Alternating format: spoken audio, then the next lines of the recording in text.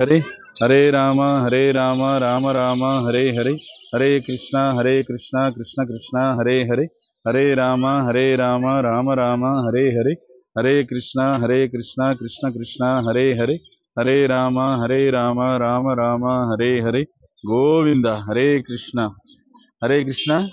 గోవిందుని గోమాత సేవలో నుండి భక్తులందరి తరపున ఈరోజు మనం క్షిప్రా నది ఒడ్డున వరహస్వామి యొక్క అనుగ్రహాన్ని ఆశిస్తూ ఈ హారతిని గోవిందుని గోమాత సేవలు ఉన్నటువంటి వారందరి సభ్యులందరి పేరు మీదుగా సమర్పిస్తూ గోమాతలకు రాధా గోవింద గోశాల్లోనూ ఇంకా ఇతర గోశాల్లో ఉన్నటువంటి గోమాతలన్నిటికీ కూడా వరాహస్వామి అనుగ్రహం కో కావాలని కోరుకుంటూ క్షిప్రా నది స్వయంగా హిరణ్యాక్షుడితో వరాహస్వామి యుద్ధం చేస్తుండగా వరాహస్వామి వారి యొక్క దివ్యమంగళ స్వరూపం నుండి ఉద్భవించినటువంటి స్వేదం చెమట ఈ నదిగా మారింది.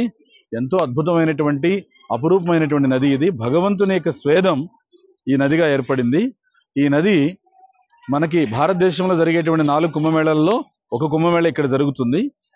హరిద్వార్లో ఒకటి ప్రయాగరాజ్లో ఒకటి నాసిక్లో ఒకటి ఇక్కడ ఉజ్జయినిలో ఒకటి. ఉజ్జయినిలో ఈ క్షిప్రా నది ఒడ్డున ఇక్కడ కుంభమేళ జరుగుతుంది. ఇప్పుడు మనం ఉన్నటువంటి ఈ ఘాట్ ఇక్కడ ఏదైతే మనం చూస్తున్నామో ఈ ఘాట్ని రామఘాట్ అని చెప్పి అంటారు. స్వయంగా శ్రీరామచంద్రుల వారు దేవదేవుడు భగవంతుడు శ్రీరామచంద్రుడు త్రేతాయుగంలో దశరథ మహారాజు అయోధ్యలో పరంపదించారని చెప్పి తెలిసి దశరథ మహారాజుకి శ్రాద్ధ కర్మ ఈ ఘాట్లో ఇక్కడే చేశారనమాట సో అందుకని చాలా ప్రసిద్ధమైనటువంటి ఘాట్ ఇది. అంత మాత్రమే కాదు హిరణ్యకశపుడితో నరసింహస్వామి యుద్ధం చేసి హిరణ్యకశపుడిని సంహరించిన తర్వాత నరసింహస్వామి తిన్నగా మాయాపూర్ దగ్గర ఉన్నటువంటి నరసింహపల్లిలోకి వెళ్ళి అక్కడ ఒక చెరువులో ఆయన చేయి కడుక్కొని తర్వాత నరసింహస్వామి వచ్చి క్షిప్రా నది ఒడ్డున ఇక్కడ ఆయన విశ్రాంతి తీసుకున్నాడు. అందుకే ఇక్కడ నరసింహ ఘాట్ అని రామఘాట్ అని రెండు కూడా క్షిప్రా నది ఒడ్డున చాలా చాలా ప్రసిద్ధి. ఇక్కడే కుంభమేళ ఉత్సవాలు కూడా జరుగుతాయి. శ్రీ వరాహస్వామి హిరణ్యాక్షుడితో యుద్ధం చేస్తుండగా స్వామివారి దేహం నుండి వచ్చిన చెమట ఈ నదిగా మారింది. చాలా ప్రసిద్ధమైనటువంటి నది. వరాహస్వామికి మనం మనస్ఫూర్తిగా ఏమని కోరుకోవాలంటే వరాహస్వామి హిరణ్యకశిపుడితో యుద్ధం చేశారు.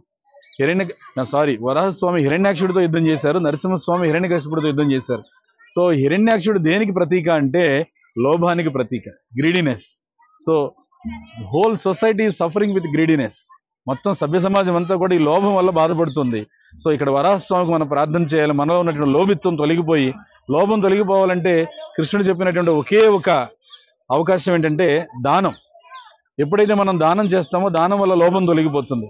భగవంతుని సేవా కార్యక్రమాలకి అలానే గోమాత యొక్క సేవా కార్యక్రమాలకి ఎప్పుడైతే మనం దానం చేయడం నేర్చుకుంటామో ఆ, ఆ ఇచ్చేటువంటి గుణం ఎప్పుడైతే నేర్చుకుంటామో ఆ లోపల ఉన్నటువంటి ఆ లోభత్వం అనేటువంటిది పోతుందన్నమాట.